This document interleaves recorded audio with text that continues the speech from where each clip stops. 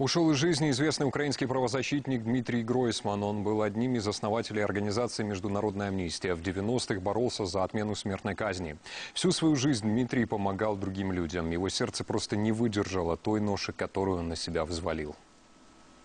Дмитрий Гройсман с отличием закончил Винницкий медицинский университет, но врачом не стал. И нисколько об этом не жалел, ведь свою жизнь посвятил защите прав человека. Він намагався е, хоч трохи покращити наш світ. Він намагався е, зробити, ви знаєте, щоб наше правосуддя було більш е, правосудним. Правозащитной деятельностью Дмитрий занялся еще в 93-м. Именно он создал Винницкую правозащитную группу, а спустя два года начал кампанию за отмену смертной казни. Его заслуги говорят сами за себя. Когда он работал координатором кампании по отмене смертной казни, Дмитрий Гройсман брался за самые тяжелые дела, такие как защита жертв пыток или помощь беженцам. Одно из последних – это освобождение Сергея Верхогляда. В камере СИЗО парень провел 8 лет. вовсе нет удовлетворения.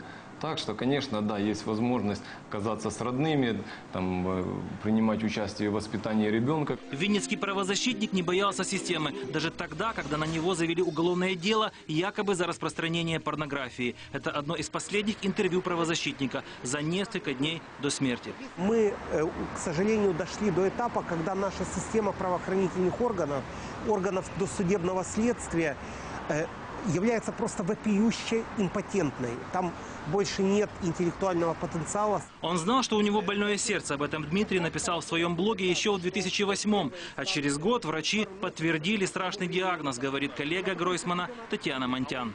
Вперше йому діагноз встановили ще в 2009 році.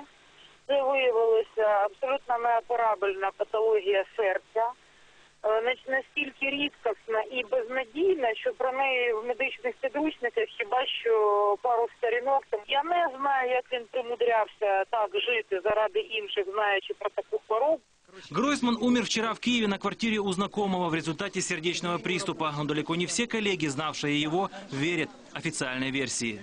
Я більшість впевнений в тому, що це йому допомогли з його зв'язаною такою роботою, такою небезпечною. Хоча він робив дуже добру для людей простих справу. Тело Дмитрия отвезут в Винницу, а на завтра запланировано судебное заседание, в котором Гройсман должен был принять участие.